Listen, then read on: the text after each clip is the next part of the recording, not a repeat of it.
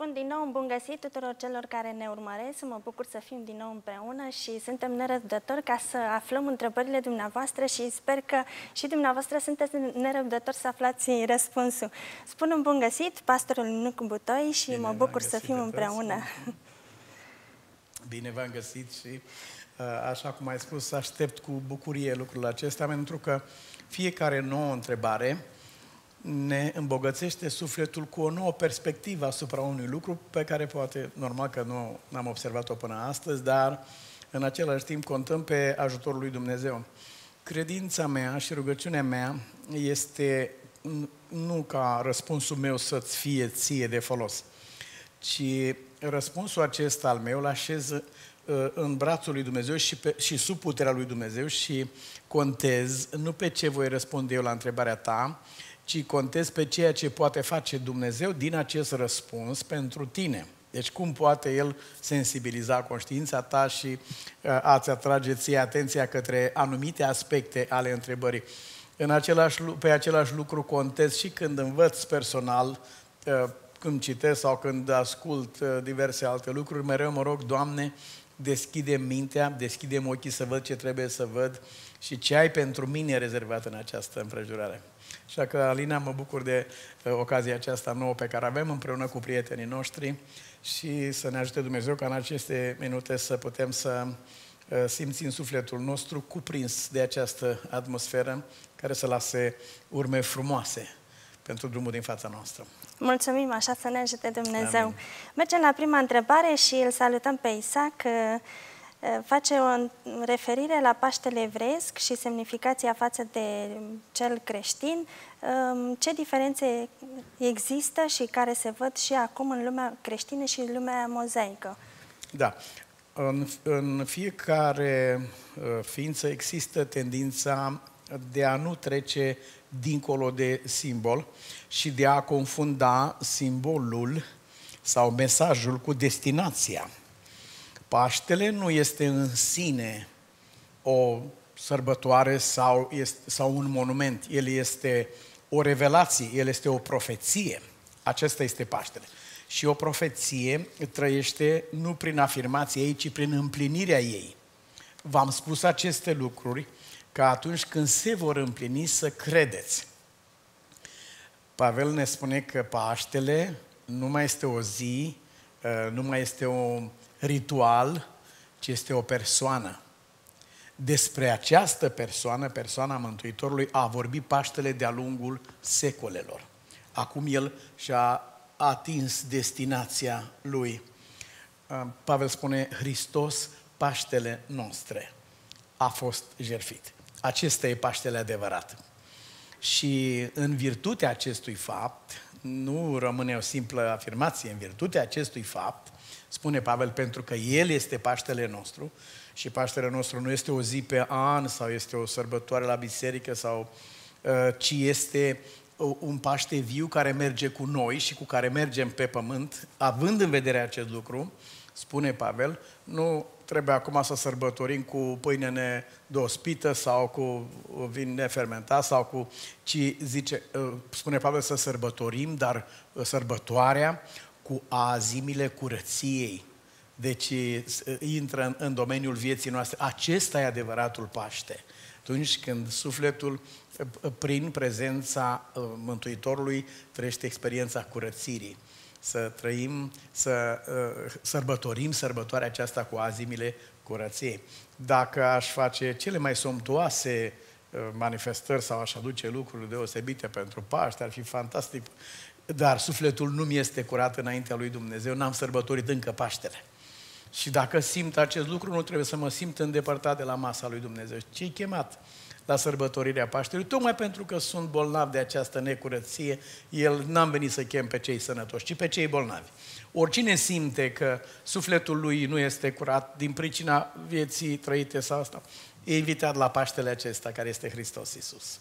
Mulțumesc foarte mult, rămânem în același context și uh, următoarea întrebare ne este adresată în felul următor. Planul de mântuire a fost din veșnicii. Ar putea lucrul acesta să reasă din textul care se găsește la Roman 16, 25 cu 26, iar aceluia care poate să vă întărească după Evanghelia mea și propovăduirea lui Isus Hristos potrivit cu descoperirea tainei care a fost ținută ascunsă timp de veacuri, dar a fost arătată acum prin scrierile prorocilor și prin porunca Dumnezeului Celui Veșnic, a fost adusă la cunoștință tuturor neamurilor ca să asculte de credință. Minunat. Uh, noțiunea la care te referi este planul cel veșnic planul din veșnicii și suntem întrebați dacă acest plan de mântuire... Dar înainte să discutăm despre planul de mântuire etern, veșnic, în paranteză vreau să spun că am, odată am pomenit aici că mijlocirea lui Isus este veșnică, El trăiește pururi, adică etern, veșnic, ca să mijlocească pentru noi și cineva uh, a fost pur și simplu foarte tulburat de această expresie, a zis nu pot să înțeleg așa ceva.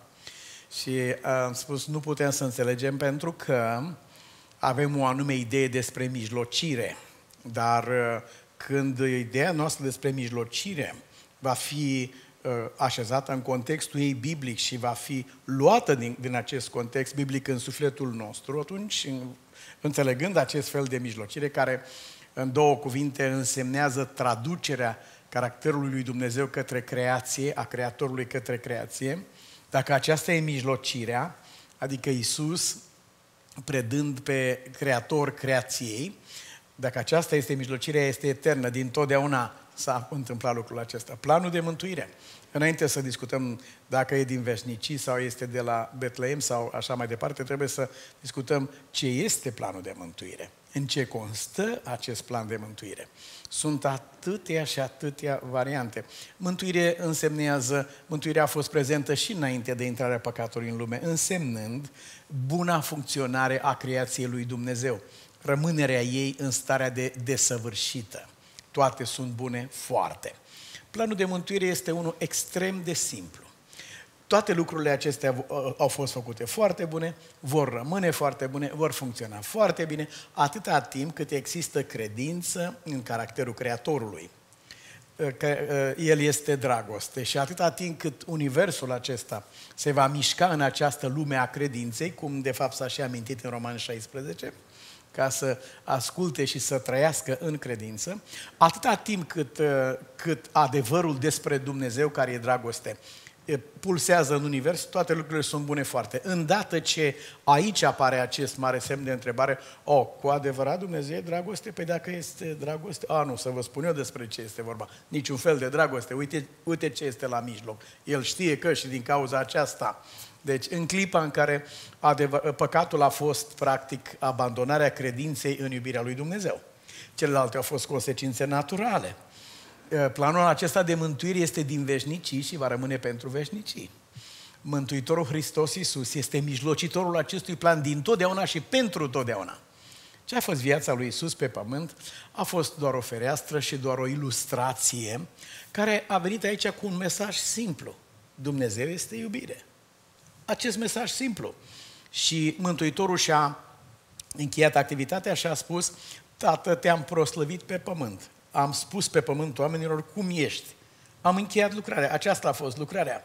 Planul de mântuire în aceasta constă. Experiențele vieții, uh, ideea de biserică, de studiu biblic, tot ce facem pe pământ, toate acestea la un loc au o singură destinație – să câștige sufletul meu pentru iubirea lui Dumnezeu. Asta este tot.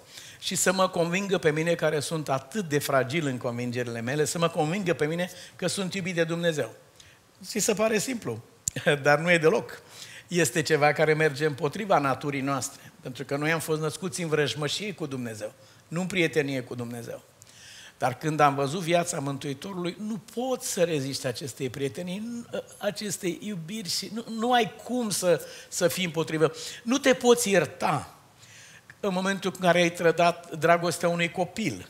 Un copil care te-a iubit și și-a pus marea încredere în tine și când vede că l-ai trădat, te, te privește cu un chip pe care nu poți să-l uiți niciodată. Cum nu pot eu să uit un cățel care s-a uitat la mine când l-am dat în primire, că uh, mușca oameni pe stradă și l-am dat în primire. Dar când s-a uitat la mine odată, Deci nu voi uita aceea privire până, până pot să văd pe pământ și când nu mai văd, am în imagine lucrul ăsta.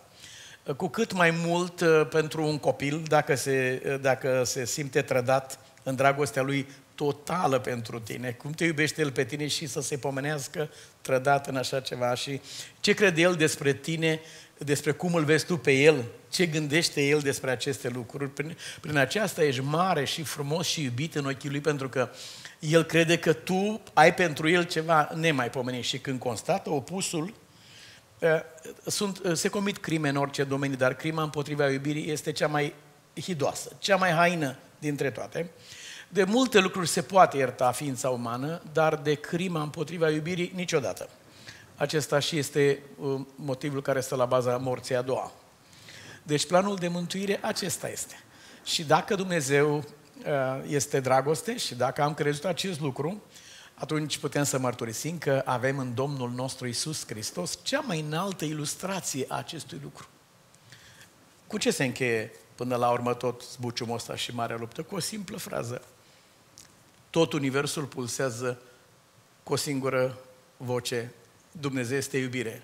Și natură, și ființă, și creație de orice fel.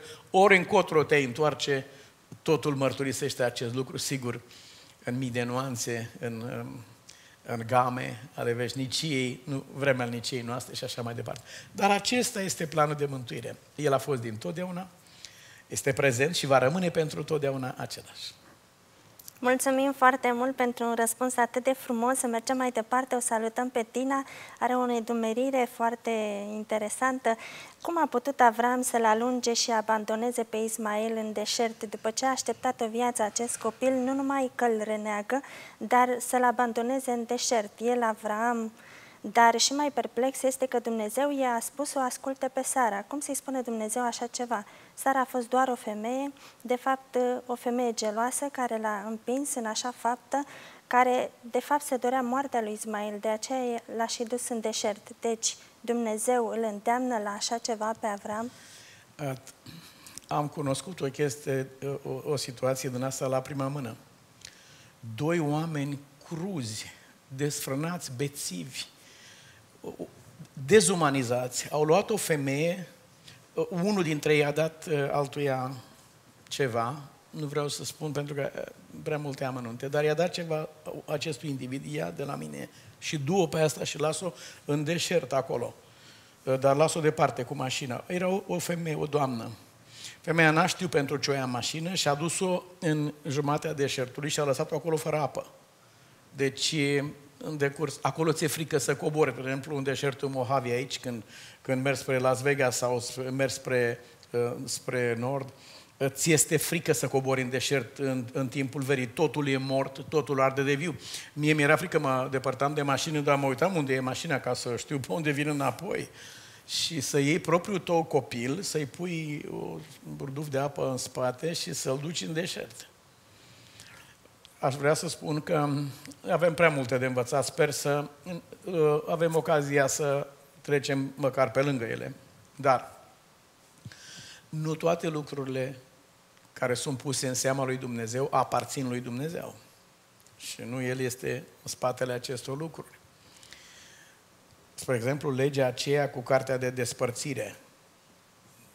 Lumea lui Isus o aplică în, în cel mai crud mod imaginabil.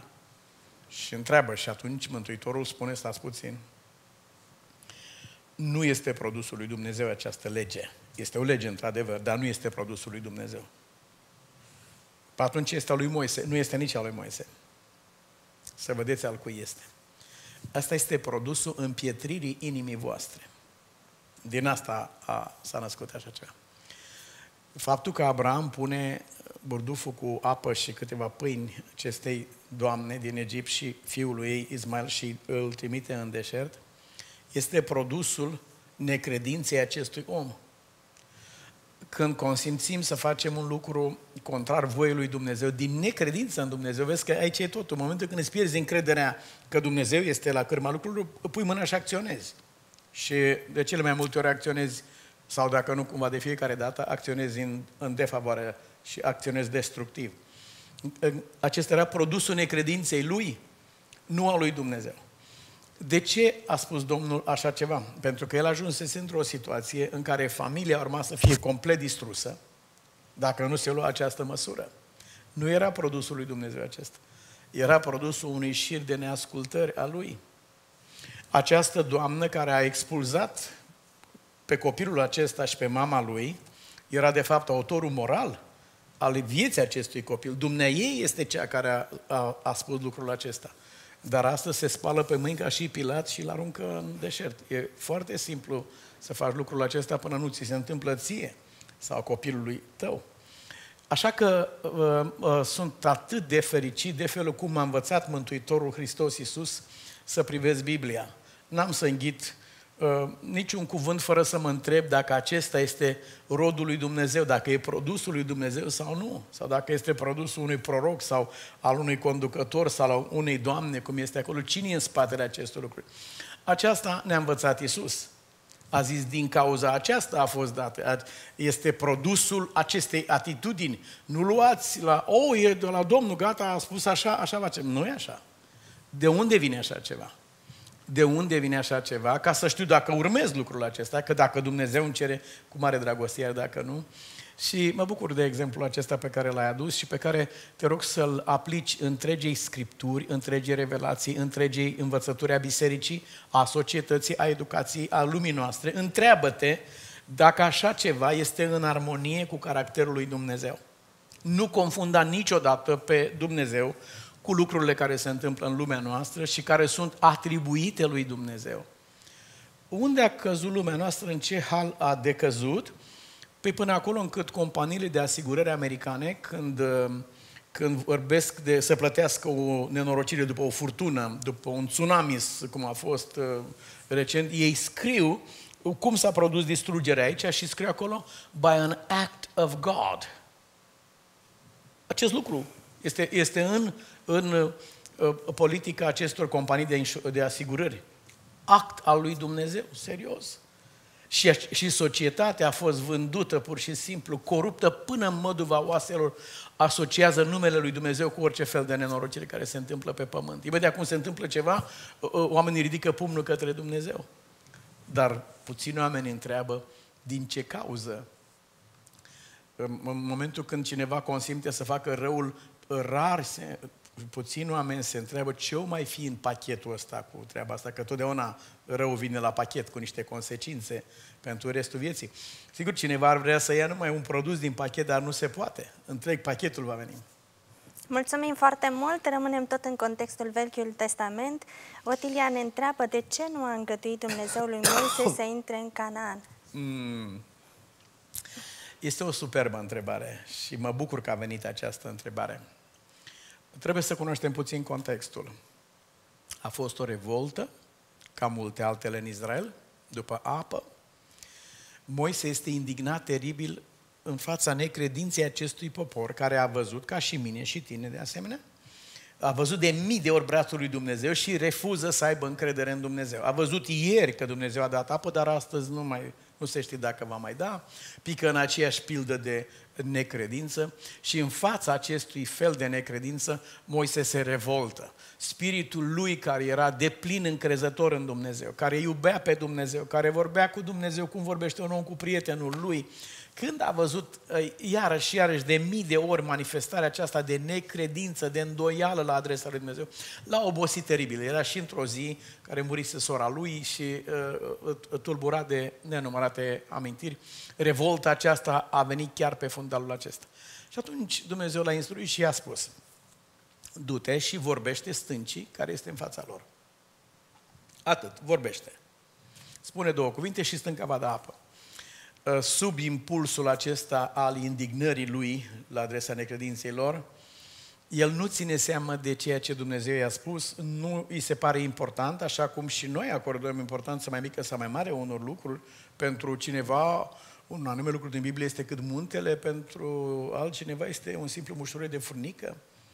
Merge în fața stâncii și după ce proclamă numele lui propriu, spunând, nu vom putea noi, spre deosebire de Iosif, care spune nu noi, ci Domnul, nu vom putea noi, acolo s-a produs alunecarea lui de fapt, adevărata lui piedică de a intra în Canaan nu a fost lovirea stâncii, ci a fost faptul că a ridicat eu lui în locul lui Dumnezeu. Vom putea noi răzvrătiților să vedem noi. Acolo s-a produs căderea lui. Lovirea stâncii a fost numai efectul acestei căderi teribile pe care a suferit-o înainte de. Uh, noi privim totdeauna la faptă, rare ori ne întrebăm care este izvorul ei al unei manifestări, ar trebui să judecăm aceasta în dreptul propriei noastre vieți. De ce vorbesc cum vorbesc? De ce fac? Ce fac? Și așa mai departe. Și el a căzut acolo. După a lovit stânca, n-a ieșit apa, a lovit iară și uh, Dumnezeu a salvat ziua și situația aceea, dar i-a spus lui, nu vei putea intra. El insistă, Domnul spune, nu se poate să vezi de ce nu se poate.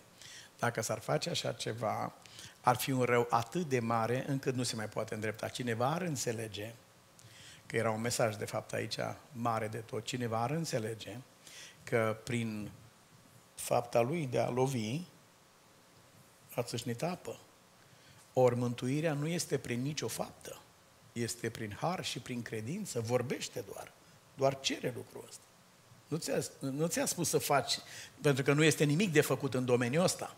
E foarte mult de făcut în domeniul vieții noastre spirituale, al societății, al familiei, tot, tot ce facem pentru sănătatea și viața noastră, dar în domeniul mântuirii, orice încercare de a atinge cu degetul așa ceva, uh, orice, cum spune în, în Vechiul Testament, uh, prima lovitură cu dalta asupra pietrei acestea a pângărit-o din clipa aceea. Deci nu, nu te poți atinge nici cu gândul, nici cu simțirea, ca și când ai avea o parte la așa ceva.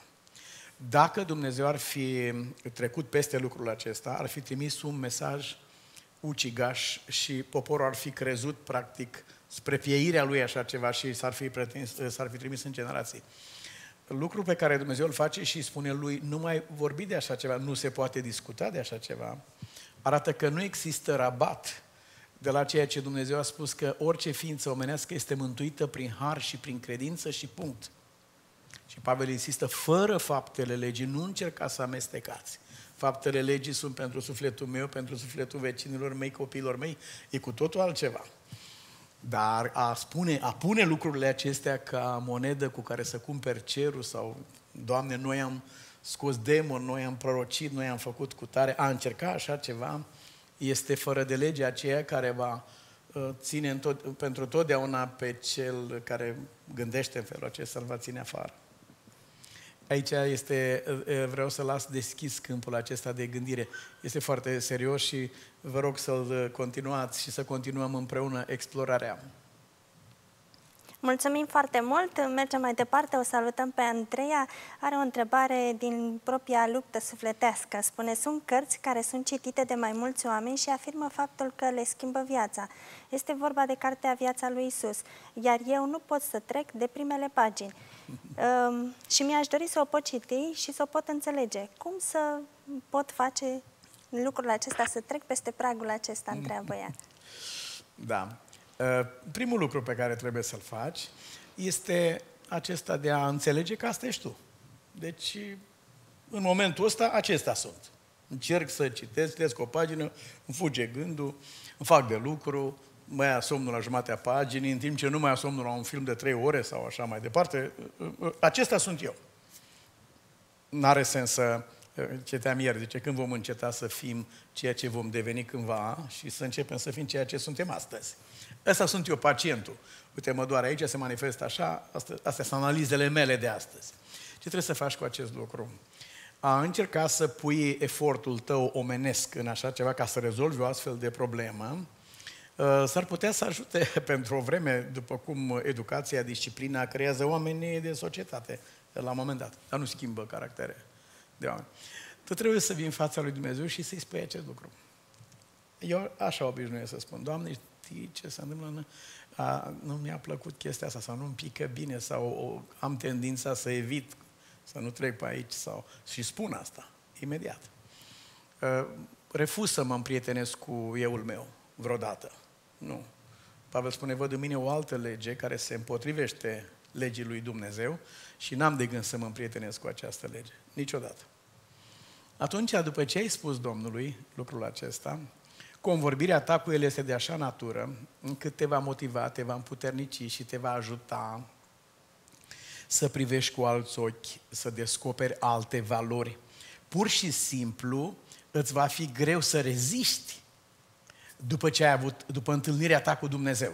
La acest uh, subcapitol vreau să spun, acest uh, lucru anume, particular. Dar el nu este aplicabil doar aici. El este aplicabil în orice alt domeniu. Nu, nu poți astăzi să citești o astfel, nu spun de cartea aceasta în particular. Unii oameni au aceste probleme cu Biblia, alți oameni au probleme acestea cu biserica. Unul are acest, acest fel de probleme cu orice discuție legată de Dumnezeu, are alergie la, la așa ceva. Sunt tot felul de manifestări ale stării noastre. Asta însemnează, sunt născut în păcat și se manifestă la fiecare diferit. Ă, greșeala noastră gravă este aceea că nu venim la Dumnezeu cu păcatul nostru, cu slăbiciunea mea, cu neputința mea, cu tendința mea. Nu vin la doctor. Cred că doctorul mă poate vindeca, dar dacă nu mă duc la el, n-am cum. Cred că acest medicament e pentru așa ceva, dar dacă nu-l iau, nu mi ajută la nimic. Și încearcă și fă lucrul acesta. Și Dumnezeu îți va da motive să-ți fie sete, să dorești să faci lucrul acesta. Mulțumim foarte mult, mergem mai departe. Salutăm pe Vasile, ne întreabă când vor învia cei care l-au răstignit pe Isus, la prima înviere sau la a doua înviere? Eh, mulțumesc de întrebare. Eh, trebuie să precizăm ceva. De obicei noi avem prejudecăți și așa de ușor ne scapă, nici nu ne dăm seama că sunt prejudecăți. Știi care este prejudecata aici, în cazul ăsta? Prejudecata este că oamenii ăștia care au răstignit pe Isus sunt niște criminali care de la sine sunt condamnați pentru totdeauna. Din start. Rar vei găsi pe cineva să se oprească. Stai puțin, de unde ai luat? Scrie undeva în Biblie uh, lucrul ăsta? Nu. No. Nu scrie nicăieri. Ba, scrie altceva. Scrie că în timp ce oamenii aceștia îl răstigneau, au fost acoperiți de rugăciunea de iertare a lui Isus adresată Tatălui. Iartă-i pe băieții aceștia, te rog, erau băieți tineri unii dintre ei. Iartă-i pe băieții aceștia pentru ce fac acum. De asemenea, uităm faptul că uh, un ofițer, cum era comandantul gărzii acesteia centurionul ăsta roman, care a venit în misiune să răstignească pe Iisus, a plecat de acolo creștin. A plecat de acolo cu credință în Dumnezeu. Cu adevărat acesta a fost Fiul lui Dumnezeu. Ce schimbare! Așa că, în primul și în primul rând, înainte de a discuta la ce înviere vor învia aceștia, trebuie să recunoaștem că noi nu știm cine sunt aceștia. Dacă am ști și dacă ar scrie în Biblie că toți aceia care au fost acolo uh, sunt la stânga, atunci am spune că vor învia la învierea a doua. Vor avea parte de învierea a doua și, cum scrie acolo, moartea a doua, adică a fost mistuiți. Dar dacă, din moment ce nu știm care a fost mersul în viața la acestor oameni, ce hotărâri au luat ei, din moment ce nu știm ce impact a avut răstignirea lui Isus, chiar, chiar lucrul ăsta asupra lor, nu știm cum s-au întors acasă, nu, nu cunoaștem istoria. Sunt prea multe necunoscute să încercăm să categorisim așa superficial și brusc, să spunem că toată lumea e pierdută sau că oamenii ăștia sunt așa sau... Dacă cineva te oprește și te întreabă pe ce bază ai spus vorba asta, îți dai seama că nu ai nicio bază. Și atunci lăsăm lui Dumnezeu, care știe ce va face și în care nu este schimbare, nu este umbră de mutare, eu aș vrea să am marea, absolut marea și imensa fericire să constat că Dumnezeu a câștigat la credință pe toți oamenii aceștia, pe toți soldații aceștia. Și aș vrea să îi văd, uh, cum scrie în Zaharia, zice, îl vor plânge, cum, vor, cum plânge cineva pe întâi lui născut când își vor da seama și îl vor întreba de unde ai aceste răni și el le va spune, le-am primit în casa celor ce mă iubeau. da, sunt destul de tulburătoare astfel de gânduri, dar dacă privim din perspectiva mesajului lui Isus, al iubirii de oameni, al lui Dumnezeu, lucrurile pot să capete o conotație atât de diferită.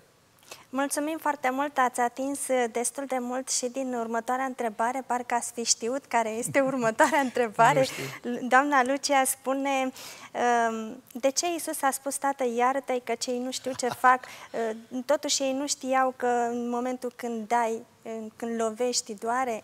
Da, este adevărat, dar ei nu înțelegeau natura acestor lucruri ei erau obișnuiți, pentru ei răstignirea era ceva, era munca zilei. După cum uh, naziștii care mergeau la lagăre și ardeau zi și noapte copii, mame, familii, uh, veneau acasă, se spălau, se îmbăiau și aveau viață, era tată, era soț, era în familie și avea servici greu, într-adevăr, dar cum termina serviciul, venea acasă și era... Da. Acești soldați, asta le era meseria lor și de obicei cei pe care îi răstigneau ei erau, erau criminali, erau tâlhari, erau oameni care au omorât oameni și ei făceau lucrul acesta cu o răzbunare teribilă în ei și spuneau, ah, bine că i-a venit rândul, pe câți oameni ai făcut și tu să sufere și, și făceau lucrul acesta fără niciun fel de discernământ. Dacă ar fi avut discernământul tâlharului, tâlharului cel bun, așa a spus copiii de la, la Malinda, deci ăsta era tâlharul cel bun, ăla a fost cel rău. Dacă ar fi avut discernământul tâlharului cel bun, atunci ar fi spus așa, uite, noi, într-adevăr, merităm ce se întâmplă aici, pentru că e nelegiunea noastră, dar între noi și El este o prăpastie. El nu a făcut nimic pentru care să fie vinovat. Și sigur că, uh, având în vedere faptul că oamenii aceștia trăiau într-o, într-un total întuneric cu privire la Dumnezeu, este greu de, de gândit sau de presupus că ar fi avut cel puțin vreo urmă de mustrare de conștiință și că ar fi știut ceva legat de ceea ce fac.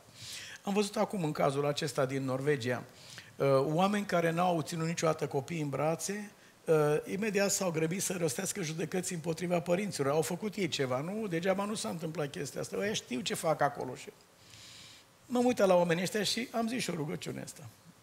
Doamne, nu-l lăsa să treacă pe acolo vreodată. Te rog eu din suflet. Nu? nu vezi, vezi cumva să-l ajut să înțeleagă, fără să treacă pe acolo. Că dacă trece pe acolo, pricepe altfel după aceea. Mulțumim foarte mult. Acum sunteți confruntat cu o provocare. Adria din București vă întreabă pe dumneavoastră care sunt cărțile preferate în afară de Biblie sau descrierile Ellen White. În cazul în caz că aveți mai multe, vă rog să recomandați două, trei. Da, cărți. Uh, nu aș putea să... Uh, aș trăi greu într-o casă fără cărți. Ieri am fost aici și am cumpărat trei sacoși bune, le-am adus uh, în locul acesta și vreau să le pun în bibliotecă frumoasă. Îți recomand scriitorii contemporani, în primul rând creștini, care au scris legate viața noastră de fiecare zi, și îți recomand de asemenea să nu pierzi din vedere că acești oameni care scriu actualmente articole um, în diverse publicații, cărți devoționale, cărți de uh, moralitate, de spiritualitate și așa mai departe, comentarii biblice, sunt, este o paletă extrem de largă. Toți aceștia nu produc aceste lucrări în aer, ci ele sunt uh, ancorate și vin de undeva și ei la rândul lor au fost uh, uh instruiți de cineva și conduși de cineva. Este o... Aș, m-aș bucura și aș vrea să trec o listă, de fapt, avem pe cineva aici la biserică, vrea, vrea să, înteme, să înființe, să cre, creeze o listă cu titlul tuturor cărților acestora, ca să putem să le punem pe line, pe online și care să poată să fie citite. Dar nu te da înapoi să și nu încerca, nu eticheta cu prejudecăți o lucrare sau alta, pentru că Uh, o comoară poate fi ascunsă exact acolo unde nu știi. Dar roagă-te lui Dumnezeu să-ți conducă pașii, cum mi se întâmplă și mie. Mie mi se întâmplă acest lucru pentru că sunt uh, zeci de mii de cărți. Sunt, uh, am fost la Bodleian Library, acolo sunt 13 milioane de volume, sunt 7-8 mii de cărți pe săptămână care sunt încorporate acolo. Este un imperiu al acestor lucruri, dar din toate acestea mă rog lui Dumnezeu să-mi conducă pașii la acea carte, la acel articol, la acel lucru care uh, știe El că este trebuincios pentru sufletul meu. Mulțumim foarte mult! Uh, mergem mai departe. Doamna Mariana ne întreabă în legătură cu Matei 16 cu 19, iar eu îți spun că tu ești Petru și pe această piatră îmi voi zidi biserica, iar porțile locuinței morților nu va birui. Îți voi da cheile împărăției cerurilor și orice vei lega pe pământ va fi legat și orice vei dezlega în Orice vei lega pe pământ va fi legat în ceruri, iar orice vei dezlega pe pământ va fi dezlegat în ceruri. Cine este această piatră pe care Isus zice că va construi biserica sa? Petru. Ce înseamnă, însemnătate are în particular versetul 19? Nu înțeleg bine acest uh, privilegiu acordat lui Petru, mai ales din perspectiva că doctrina catolică se bazează pe acest verset, afirmând autoritatea papei, Petru fiind considerat primul papă. Da.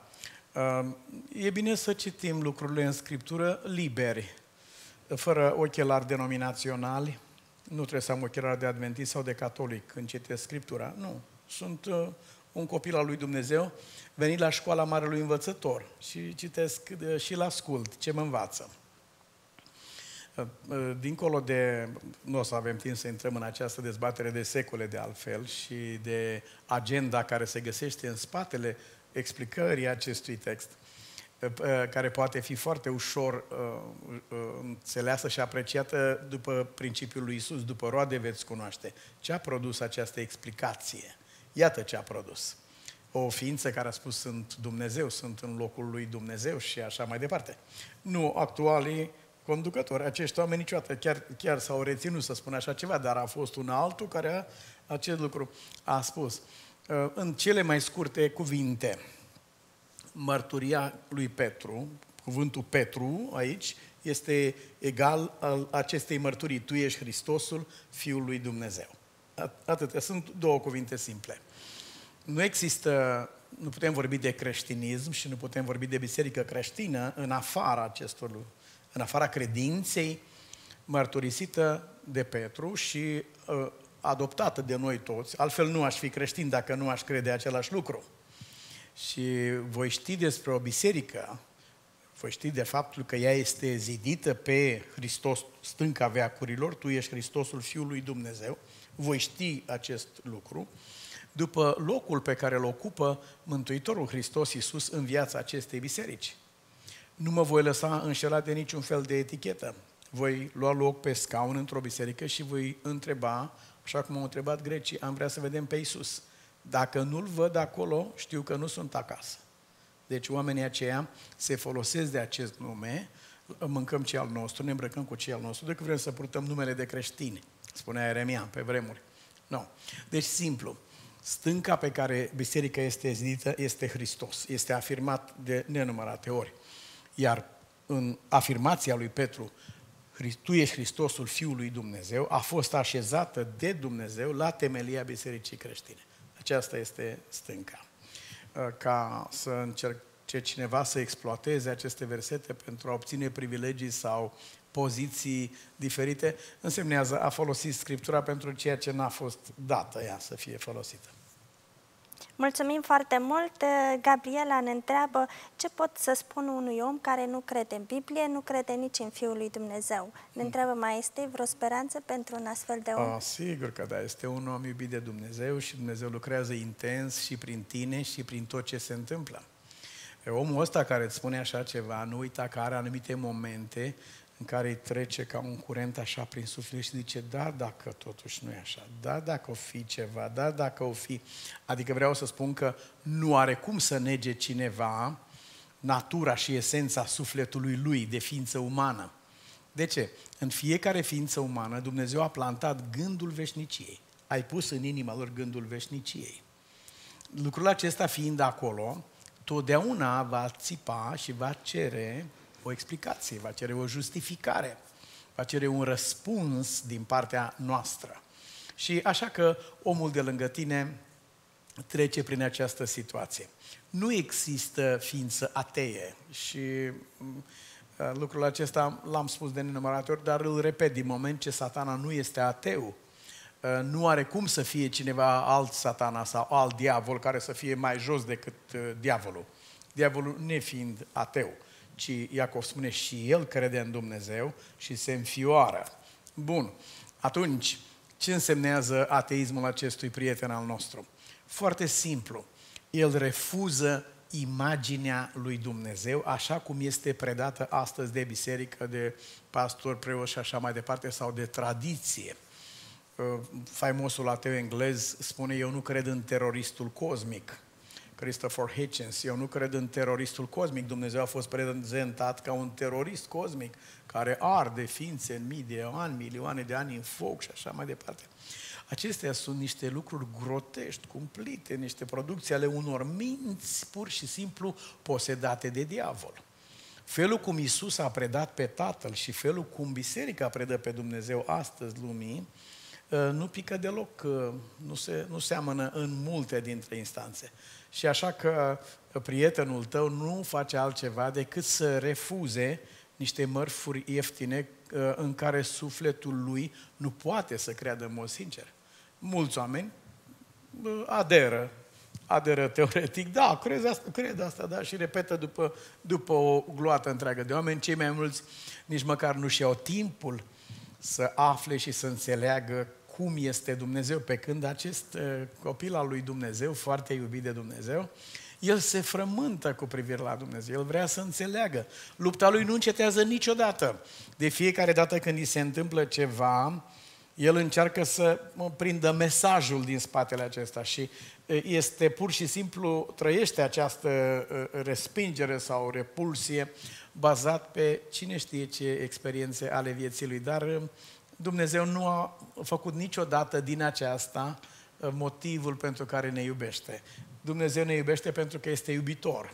Și acest tânăr este iubit de Dumnezeu. Fie că va recunoaște sau nu, dar în adâncul sufletului lui el știe lucrul acesta. Și roagă-te de asemenea pentru el.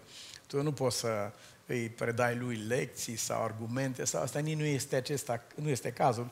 Eu personal nu aș, nu aș practica lucrul acesta pentru că sufletul nu poate fi uh, uh, convertit sau schimbat prin argumente niciodată. Nu.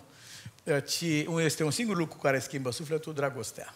Deci, dragostea lui Dumnezeu asupra căreia îi se vor deschide ochii și prin rugăciunile tale. Roagă-te ca Dumnezeu să îi se descoperă acolo unde niciun om n-ar putea să descopere nimic. Și Dumnezeu are niște căi, niște mijloace.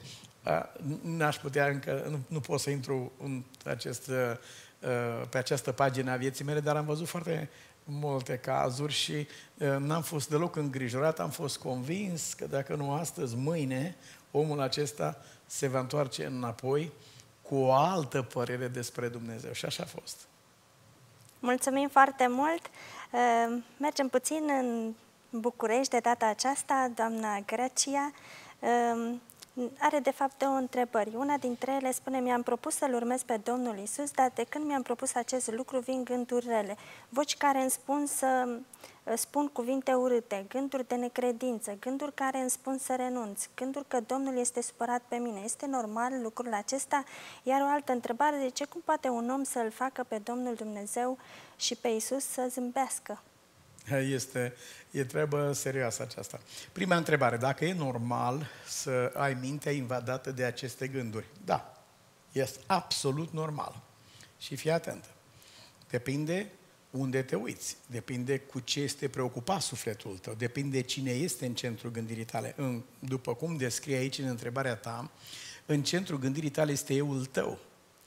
Uh, cu ceea ce face bine, ceea ce face rău, cum se manifestă, cum se îmbracă, cum se dezbracă. Deci toată preocuparea ta este cu eul tău. Și e normal să producă astfel de lucruri. Dacă îți vei lua privirea de la eul tău și nu te va mai interesa cum mergi pe bicicletă și te uiți la picioare, dacă te uiți la picioare mereu la pedale când înveți, ai să cazi de fiecare dată.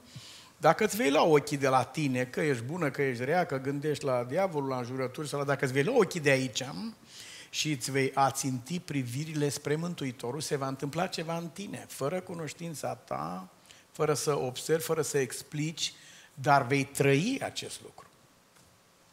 Revin cu textul din 2 Corinteni, suntem schimbați în timp ce privim acolo. Marea noastră problemă este că noi punem în centru gândirii, simțirii și existenței noastre eul nostru. El este acela care ocupă ecranul. Și de aici tot felul de manifestări de acest gen. Ce diferită este viața atunci când ne ațintim privirea asupra Mântuitorului, să vezi ce dialog, să vezi ce frumuseți, să vezi ce bucurie în suflet. A, a doua întrebare, dacă cineva sau cum poate fi făcut Dumnezeu să zâmbească. Psalmul 2 scrie, cel prea înalt se uită din ceruri și râde. Sigur că este antropomorfic, este cu trăsături omenești. Dar fii atentă, aici în psalmul acesta 2, ă, cei la care, despre care psalmul scrie că Dumnezeu râde, ei vorbesc lucruri grele, foarte grele acolo. Cum să răstoarne guvernarea lui Dumnezeu, cum să desparte pe tatăl de fiul, cum să taie legăturile, uh, se sfătuiesc cum să distrugă pe poporul lui Dumnezeu, cum să distrugă lucrarea lui Dumnezeu pe pământ. Și Biblia scrie cel prea înalt, în loc să, așa cum noi suntem obișnuiți, să se încrunte sau să tune sau să fulgere, zice, el zâmbește. Este așa cum ai asculta discuția unor copii care pun la cale treburi serioase și ei nu știu cât de limitați ar fi ei și cât de, ce fel de luptă ar fi aceasta. Dar tu, tu ai răbdare cu ei și când ei vor crește mari și se vor uita înapoi la planurile lor și la ce gândeau ei să facă și cum, um, când, când se vor uita înapoi, vor zâmbi așa cum zâmbește și Dumnezeu. Vreau să știi că Dumnezeu este prietenul tău. Nu trebuie să-L privești așa uh, departe. Iisus a spus, voi sunteți prietenii mei. Uh, Dumnezeu a dat exemplu cu un om, Abraham, prieten, prietenul lui, a vorbit cu Moise. Cum vorbește un om cu prietenul lui? Nu ca să întreține două mari excepții în Biblie. Pentru că a venit Iisus și a spus, oricine mă ascultă, se prietenește cu mine. Eu sunt prieten cu toată lumea, spune Iisus, dar nu toată lumea e prietenă cu mine. E altceva. Dar, atenție, oricine mă ascultă, se va îndrăgosti, va rămâne, va deveni prieten. Voi sunteți prietenii mei dacă faceți ce vă poruncesc eu. Mulțumim frumos pentru acest răspuns. Mergem mai departe și o saltăm pe doamna Grab. Are o întrebare referitor la 1 Samuel 28, 15 la 19, în legătură cu Samuel. Uh-huh. După, cu Saul, când a mers la vrăjitoare și i s-a arătat uh, Samuel. Întrebarea dumneai spune în felul următor, este chemat Duhul lui Saul și el îi prorocește ce se va întâmpla. Pe mine mă intrigă versetul 17, spune Doamna, în care acea viziune spune, Domnul îți va face așa cum îți vestisem din partea lui. Domnul a rupt împărăția din mâinile tale și a dat-o altuia, lui David. Eu știu că era un duh necurat, spune ea, dar îi prorăcește un adevăr. Păi nu e prima dată când se întâmplă așa ceva. Nu este prima dată. Primilor noștri părinți, înainte de a, ca ei să piardă credința lor în dragostea lui Dumnezeu și ca urmare să ia din pomul acela, este un uh, simbol al efectului pe care îl are pierderea credinței în iubirea lui Dumnezeu. Uh, șarpele a prorocit și a spus, uite ce se va întâmpla. Vi se vor deschide ochii și veți cunoaște binele și răul. Și întrebarea nu era dacă se va întâmpla așa, pentru că așa s-a întâmplat. Întrebarea era dacă oamenii ăștia chiar vroiau așa ceva, să, se, să li se întâmple. Noi suntem uimiți când ceva s-a întâmplat cum a fost, dar întrebarea nu este asta. Întrebarea este, ai, vrei lucrul ăsta? Adică ai vrea să ajungă aici lucrurile? Ai vrea să mergi la destinația aceasta? Saul era un om părăsit de Dumnezeu și un om care de fapt părăsise pe Dumnezeu. Nu l-a părăsit Dumnezeu pe el, el a părăsit pe Dumnezeu.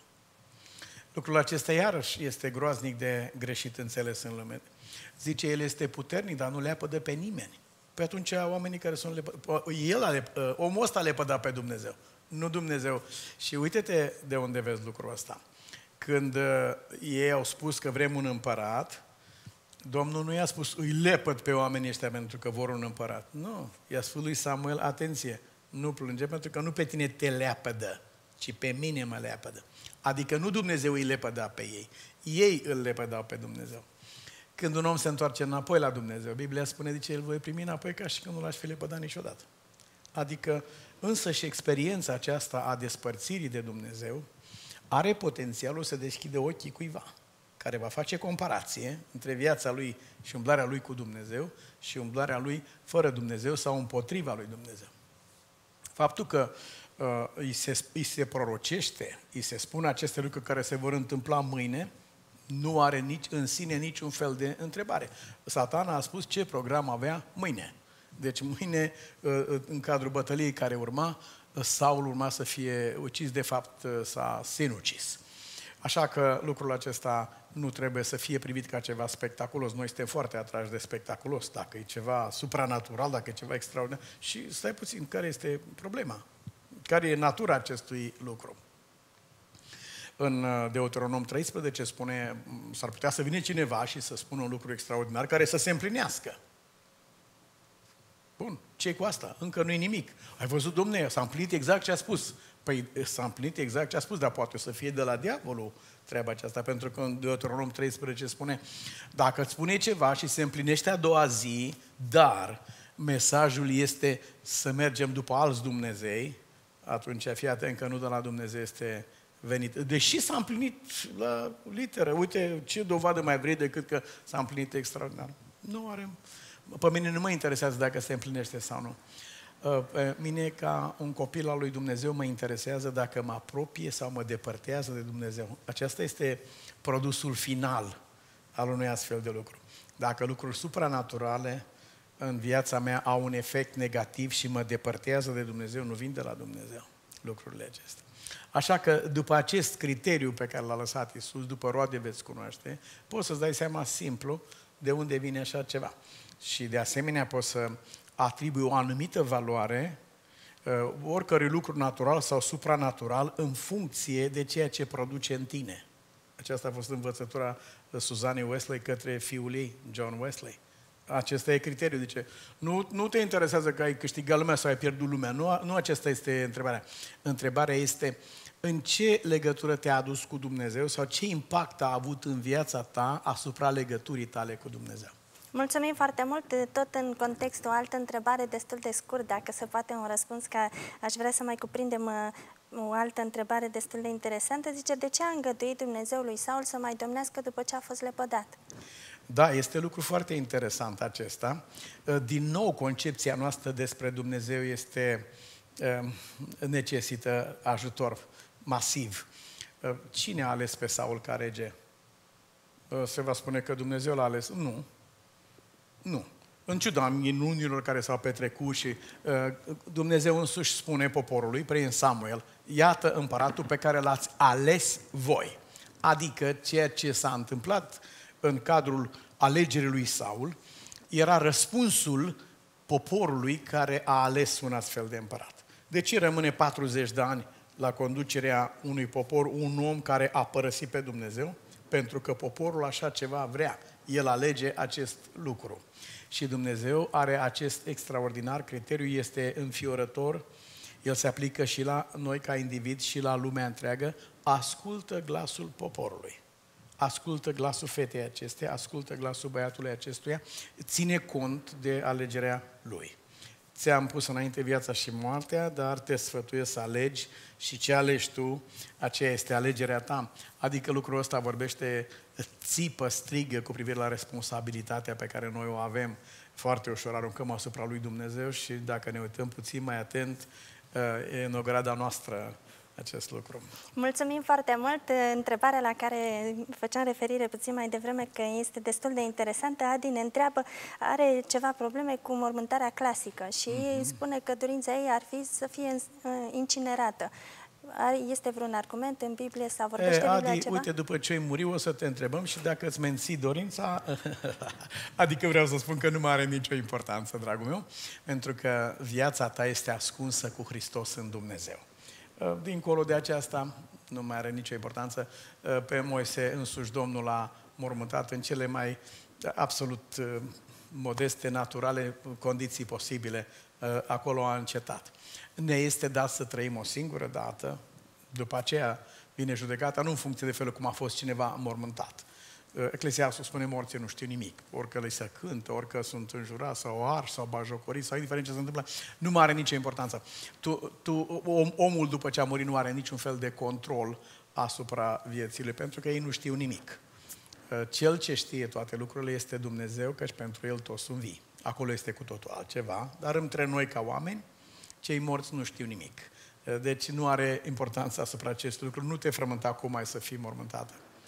Uh, vină în fiecare zi înaintea lui Dumnezeu și spune cum ai vrea să trăiești. spune că ai vrea ca ultima imagine a ochilor tăi pe pământ să fie chipul celui care te-a iubit, mai mult decât te-a iubit viața mai mult decât oricine altcineva. Spune aceste lucruri în rugăciune. Mulțumim foarte mult, mulțumim și pentru întrebările care au rămas, ne pare rău, pentru răspunsul care nu s-a mai putut în ocazia aceasta. Vă așteptăm în ocazia următoare și sperăm din toată inima că atunci să avem timp pentru întrebările dumneavoastră. Mai avem doar câteva momente pentru rugăciune. Da, da. Tată, îți mulțumim din toată inima că împreună cu prietenii noștri ne-ai purtat în grădina frumoasă a înțelepciunii dumnezeiești, a iubirii lui Dumnezeu care se manifestă atât de felurit pe pământul acesta. Îți mulțumesc pentru acești prieteni iubiți care ne-au trimis întrebări așa de frumoase, atât de pline de conținut și ele ne-au ridicat ochii spre Tine. Ia Tu, Doamne, cuvintele care au fost vorbite aici și în mâinile Tale sfinte ele să devină un instrument pentru binecuvântarea sufletelor noastre. Binecuvântă, Doamne, te rugăm, călătoria noastră pe pământul acesta, gândirea noastră, Dă-ne întotdeauna lumina după care sufletul nostru este însetat și fă ca lumina lumii să lumineze lumea prin noi. Amin. Amin.